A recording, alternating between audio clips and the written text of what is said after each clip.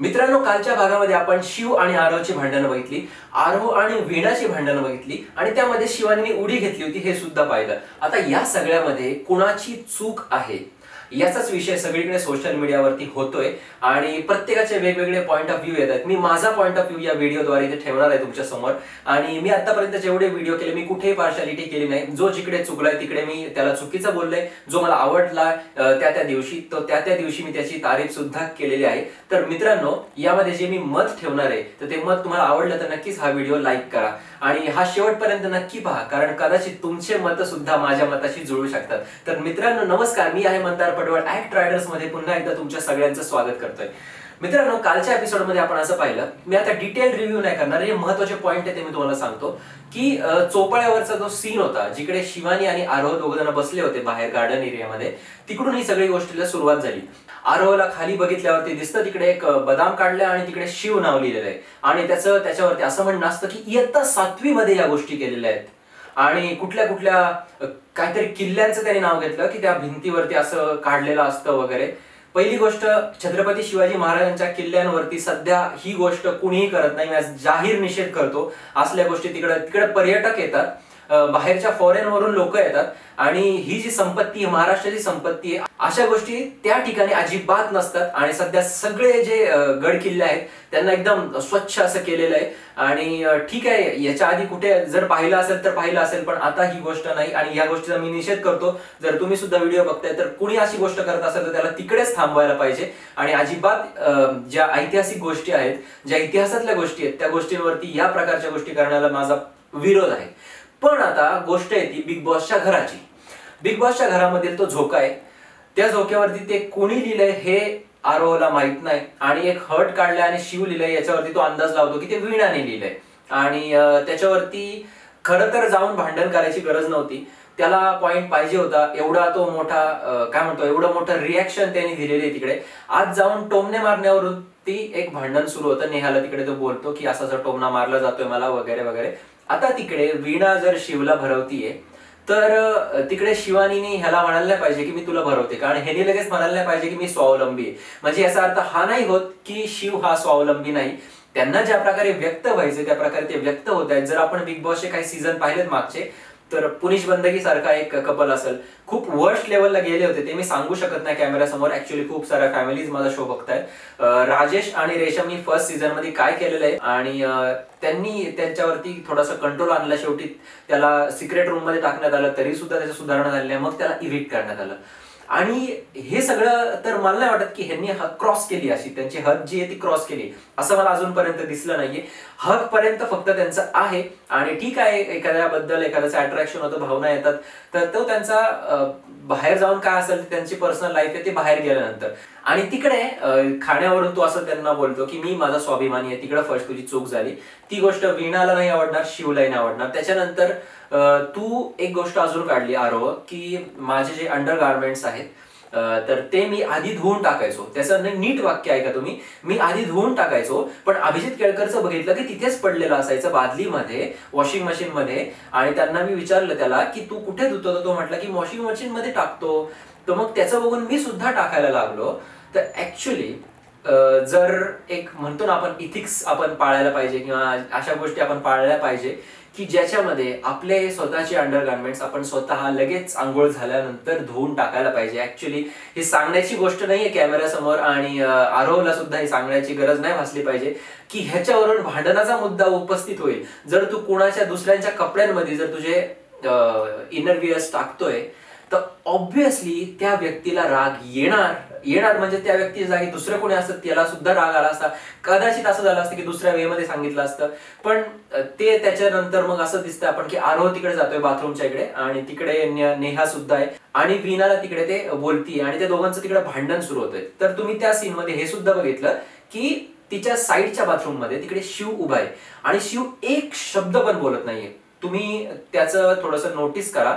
ज्या वेळेस पासून त्याला सांगितलेलं आहे की तिची जी भांडणं आहेत तिला सोडवून दे तेव्हापासून तो एक शब्दही तिकडे बोलत नाही. हे मी नोटीस केलेलं आहे. आणि याच्यानंतर आरोने काय केलं की आता शिव आपल्याला उलटून काही बोलत नाहीये. तर आरोचं मला तिकडे असं दिसलं की तो शिवचं नाव घेऊन सुद्धा तिकडे बोलतोय की तुमचे दोघांचे धंदे चालले तिकडं. तुमच्या ज्या गोष्टी चालल्या त्या मला पटत नाहीये. कुणी तिकडे नाव लिहिलं? हा मॅटर त्याने तिकडे काढला. पहिल्यांदा मॅटर चालला होता कपड्यांचा. पण त्यांनी हा मॅटर तिकडे ओढून काढलेला आहे तिकडे. आणि ह्या गोष्टी मला पटत नाही या घराच्या बाहेर जाऊन करा वगैरे. आणि त्याच्यानंतर तो अजून एक गोल गोष्ट बोलला तिकडे विणाला की तुला जो पॅम्पर करतोय ना त्याच्याजवळ जा माझ्याकडे नको येऊ मी ना ऐकून घेणार. आणि हे तो शिव समोर बोललेला तिकडे बाथरूम एरियामध्ये तुम्ही हे नीट गोष्ट ऐका. या सगळ्या गोष्टींवरती शिवच्या जागी दुसरा कोणीही असता त्याला प्रचंड राग आला असता आणि जर खरंच मला असं वाटतं की आरोहचं आणि विनाचं जर भांडण आहे तर आरोहनी पर्सनली तिच्या बाबतीत त्या भांडणाबद्दल म्हणजे ज्या गोष्टीवरून भांडण झाले त्याच्याबद्दल बोलावं ना की दुसऱ्याला त्याच्यामध्ये ओढावं. म्हणजे शिवचा इथे किंवा त्यांच्या प्रेमाचा इथे काही संबंध नव्हता याच्या इनर वियर्सशी किंवा ह्या भांडणाशी किंवा ते एकमेकांना खाऊ घालतात त्यांना काहीच प्रॉब्लेम तिकडे करायची गरज नव्हती. आता ठीक आहे की ह्यांनी जर हद क्रॉस केली आहे समजा ह्यांनी हद एखादी क्रॉस केली शिव आणि वीणानी त्या शो मध्ये तर त्यांना महेश मांजरेकर हे झापतील. त्यांनी नाही झापलं तर सोशल मीडियावरती प्रचंड रोष व्यक्त केला जाईल. आता एक टॉवेलचा सीन झाला होता तिकडे शिव आणि वीणाचा. त्याच्यावरती सुद्धा प्रतिक्रिया यायला लागल्या होत्या सोशल मीडियावरती आणि एक नाईटचा सीन होता त्याच्यावरती सुद्धा प्रतिक्रिया आल्या होत्या. पण याच्या व्यतिरिक्त दुसरं कुठलंही त्यांनी पाऊल उचललं नाही. आणि हे स्टेप फक्त हक पर्यंत आहे. त्याच्या पुढे कुठं ते गेले नाहीये. मागच्या वेळेस आपण जर पाहिलं तर एका गोधडीमध्ये एका चादरीमध्ये झोपले होते ते. नाही बोलू शकत मी या गोष्टी. तर अशी कोणती हद त्यांनी क्रॉस केली नाही. तर मला इथं पर्सनली असं वाटतं की भांडण जे सुरू केलंय ना ते आरोहाने सुरू केलंय आणि तेही काही नसताना सुरू केलेलं आहे. आणि शिवला उचकवायचा किंवा उचकवायचा प्रयत्न तो होता कारण त्याला माहिती होतं आरोहला शंभर टक्के की इकडे शिव आणि किशोरीताईंमध्ये टास्क आहे तर तो दोघांमध्ये टास्क नसणार आहे आपण सुद्धा त्यामध्ये इन्व्हॉल्व्ह असणार आहे. आणि याच गोष्टीसाठी तो तिला त्याला उचकवायचा प्रयत्न करतोय कारण त्याला सुद्धा माहिती की बिग बॉस त्याला ज्या टीममध्ये टाकल ते शिवच्या ऑपोजिटच टाकल. कारण बिग बॉसला सुद्धा ही भांडणच हवी आहेत. टास्क का कॅन्सल झाला? शिवमुळे झाला का? या बाबतीत पण मी बोलणार आहे. या भांडणामध्ये शिवानी आणि आरोहने त्याचे सगळे पॉईंट्स काढले. शिवने आतापर्यंत कुठे कुठे हर्ट्स काढले होते? तिच्यासाठी कुठे कुठे हर्ट्स केलं होतं? या सगळ्या गोष्टी त्यांनी काढल्या आणि ते ऍक्च्युली नव्हतं काढायला पाहिजे. कारण तुम्हाला माहितीये की या गोष्टीवरती बोलल्यावरती विणाला राग आला होता आणि ती रडली होती. तिचं ब्रेकडाऊन झालं होतं. आपण मागे पाहिलं होतं. ही गोष्ट शिवानीला पक्की माहिती आहे. त्या दोघांनी त्याच गोष्टी काढल्या की ती अजून चिडावी म्हणून. आणि ते बोलल्यानंतर तिकडे असं दिसतं की शिवानी म्हणजे शिवानीने त्या भांडणामध्ये उडी मारली आणि बोलली की तू आठवी आठ वर्षाची नाहीये तू अठ्ठावीस वर्षाची आहे तुला कळतंय का? म्हणजे एकदम मॅच्युअर्ड आहे शिवानी असं ती तिला बोलत होती आणि एकदम तिला डाऊनला नेलं. का? कारण तिच्या बाजूने बोलायला तिकडे शिव उपलब्ध नव्हता शिवला तिकडे सक्त ताकीद दिली त्याच्या घरच्यांनी की हिच्या भांडणामध्ये तू पडायचं नाही. ऍक्च्युली त्याचं नाव घेतलं गेलं तरी सुद्धा तो इकडे बोलला नाही. आणि त्याच्यानंतर सुरू झाला तो टास्क आता टास्कमध्ये मी तुम्हाला सांगतो बिग बॉसची तर किती मोठी चूक आहे? बिग बॉसने जो म्हातारीचा बूट दिलेला आहे त्या बूटमध्ये तिकडे होल्स दिलेले ते कोणत्या मटेरियलचं केलं होतं मला माहीत नाही. जर ते सिमेंटचं असतं जर होल्स तर किंवा दुसरं कोणत्या एखाद्या गोष्टी असं जे तुटणार नाही किंवा असं तर मग ठीक असतं. पण आपण त्या टास्कमध्ये जेव्हा ते दोरी ओवायला लागले ती दोरी फार कडक होती. आय थिंक ती खूप जाड नायलॉनची दोरी होती. ती खूप कडक होती. त्यांनी कुणाला इजा सुद्धा झाली असती त्या दोरीने ती दोरी ओढल्यानंतर. ती काही आपली शूजची जशी लेस असते तशी लेस नव्हती. ती खूप जाड दोरी होती. आणि ती दोरी ओढताना कुणाला दुखापत होऊ शकत होती? एखाद्याचं बोट तुटू शकत होतं एखाद्याच्या हात कापू शकत होता काही पण होऊ शकत होतं. तर बिग बॉसचा इथे पूर्णपणे निर्णय चुकलेला आहे असं मला वाटतं. आणि दुसरी गोष्ट म्हणजे बिग बॉसची चुकलेली ही की जो जो बूट केला होता जसं मी आधी बोललो तो बूट कुठल्या मटेरियलचा होता माहीत नाही की ते ओढताना त्यांच्या जोरामुळे तो बूट उचकटला गेला. त्या त्या शूजमध्ये ती दोरी ओताना तो शूज अक्षरशः तुटला असता एवढा जोर या सगळ्या सदस्यांकडून लागला असता. कारण हा जवळपास फिजिकल टास्क होता. आणि ते जे शूजचं जे मटेरियल होतं त्यामध्ये एवढी ताकद नव्हती की यांची ताकद ते सहन करेल. आणि कदाचित असं झालं असतं की त्या दोरीने ना ते सगळे होल्स आहे ना ते सगळे तुटले असते. हे बिग बॉसला सुद्धा माहिती होतं. आणि या सगळ्या गोष्टींमध्ये तिकडे शिवची मोठी चूक झाली आणि तो आरवला चावला. बिग बॉसला कारण भेटलं टास्क थांबवण्यासाठी बिग बॉसने टास्क थांबवला. आणि दुसरी गोष्ट मला इकडे असं वाटते की आरवची ते खूप मोठी चूक आहे की ज्यांनी सकाळपासून एवढं सगळं सहन केलं तर त्या सहन केल्याची रिॲक्शन होती ते चावणं. आता मी तुम्हाला ह्याच्याच पास्टमध्ये घेऊन जातो बिग बॉसच्या जिकडे पराग कानेरेने खूप सारा टॉर्चर सहन केला. सेम गोष्ट आहे बघा. खूप सारा टॉर्चर वैशाली वाडेकडून नेहाकडून त्याने खूप सारा टॉर्चर सहन केला. त्या रात्री म्हणजे त्यावेळेस त्या खुर्ची सम्राट टासला काय घडलं होतं एबी माझ्यावरती इंटरव्ह्यू देताना त्याने सांगितलेलं आहे. त्याला अक्षरशः बाहेर इंटरव्ह्यू देण्यासाठी सुद्धा अलाउड केलं नव्हतं. तर तिकडे सांगितलेलं आणि किती हे घरातले त्याच्याबद्दल कसे वागलेले आहेत ते तुम्ही बघा तिकडे. तर फक्त मी तुम्हाला एवढं सांगतो की जेव्हा त्याची त्याला एवढं सगळं टॉर्चर केल्यानंतर जी रिॲक्शन आली की त्यांनी नेहाला मारलं. तशीच रिॲक्शन इकडे शिवची होती. एवढा सगळा सकाळपासून टॉर्चर केला. त्याच्या हर्ट्स वरती बाहेर नाव लिहिलं त्याच्यावरती त्यांच्या रिलेशनबद्दल. तर ह्याची रिॲक्शन होती त्याचं चावणं. तर आता बिग बॉसने इकडे त्याला नॉमिनेट केलं त्याला काही घरातून बाहेर नाही काढलं कारण बिग बॉसला असं वाटतं की हा इथपर्यंत हा लढत लढत आलेला आहे. ट्वेल्थ वीक आहे आणि कुठेतरी यांची सुद्धा चूक आहे असं मला वाटतं आणि तिकडे परागच्या बाबतीत सुद्धा ते असंच म्हणाले होते की जेवढी तुझी चूक आहे तेवढ्या चुकीला हे सुद्धा जबाबदार आहे. कारण बाकीच्यांनी सुद्धा त्याच्यावरती हात उचललेले आहे त्यांना त्याला मारलेले आणि शिव एकटा तिकडे असा होता. परागच्या वेळेस सांगतोय मी की त्याला परागला त्यांनी सगळ्यांपासून वाचवलं होतं बाकी सगळे त्याला मारत होते. आणि बिग बॉसने ह्यांच्यावरती काहीच कारवाई केली नाही. अभिजित केळकर नेहा आणि वैशाली या तिघांचं मी स्पेशल इकडे नाव घेतोय. जी गोष्ट झाली त्याच्यावरती शिवला काल नॉमिनेट करण्यात आलं आणि किशोरी त्यांना कॅप्टन करण्यात आलं. बिग बॉसचा इकडे हेतू साध्य झाला की त्यांचं जी प्रॉपर्टी होती त्यांच्यावरती आक्षेप उठला असता त्यांच्यावरती बोट उठला असता की काय तुम्ही टास्क घेताय? तुम्हाला कळत नाही की कोणती गोष्टी तिकडे आणायच्या. तुम्हाला एक गोष्ट सांगतो ती ती जी दोरी होती ती दोरी कुठून कुठून काढत होते एखाद्याच्या गळ्याला जर ती गुंडाळली गेली असती आणि एखाद्याने खेचली असती तर ती दोरी होती तर त्या दोरीने एखाद्याच्या गळ्याला फास्ट सुद्धा बसला असता. या गोष्टीचा बिग बॉस काही केअर घेतं की नाही मला काय कळत नाही. ह्यांना सांगतात तुम्ही फिजिकल होऊ नका एकमेकांना शरीराला त्रास झाला नाही पाहिजे पण तुम्ही असे असे टास्क देताय. ते टास्क जे ते चुकीचे आहेत. तुम्हाला थोडस तुम्हाला टास्क नाही मिळत आहे हिंदी बिग बॉसमध्ये जा तिकडे जाऊन तुम्ही बघा की खूप सारे टास्क आहेत म्हणून. या ह्याच्यामध्ये घ्यायला. बिग बॉसला पक्का माहिती होतं की त्यांनी हा जो टास्क दिलेला आहे हा टास्क चुकीचा आहे आणि ह्याच्यानी कुणाला पण इजा होऊ शकते या गोष्टीमुळे त्यांनी हा टास्क रद्द केलेला आहे. दुसरी गोष्ट मी ते सांगतो की शिवची ह्या वीकमध्ये म्हणजे आता जो वीक चाललाय ट्वेल्थ का थर्टीन्थ वीक आहे तर ह्याच्यामध्ये खूप मोठी त्याची चूक झालेली आहे ही गोष्ट. ही गोष्ट अजिबात तिकडे हे करणं जर एकदा बाण सुटला जर एकदा आपले शब्द सुटले तर सुटले ते आपल्याला रिटर्न घेता येत नाही नंतर त्यांनी माफी मागितली पण ते रिटर्न घेता येत नाही. आणि ती चूक इथे त्याला करायला नव्हती पाहिजे. त्यांनी जेवढे पेशन्स त्याच्या आधी ठेवले होते की मला नाही बोलायचे आरवला सगळीकडे अप्रिसिएट झाला असतात पण इकडे तू बोलून चूक केलेली आहे तू. आणि काय आरोहला त्याचा प्रॉब्लेम आहे? आणि त्याचं सुद्धा तो टास्कमध्ये आल्यानंतर काय गोष्ट होतं जे मागच्या वेळेस ढकललं? त्याचं कुठेही समर्थन केलं गेलं नाही. मी सुद्धा नाही समर्थन केलं की चुकीचं आहे तिकडे शिव तर चुकीचं आहे. आणि काल पण त्यांनी चूक केली तर चूक केली पण त्याच्या आधी खूप सारा प्रभोग तिकडे करण्यात आलेला आहे त्याला.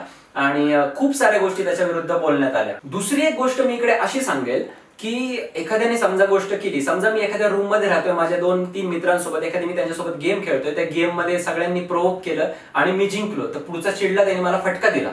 तर मी त्याच्यावरती कसं रिॲक्ट व्हायचं? त्याचे दोन प्रकार. एक म्हणजे पॉझिटिव्हली की चला आता गेम्स झालेला आहे आणि मी त्याला म्हणणार की यार आपला दोस्त आहे ना तू असं काय करतोस यार?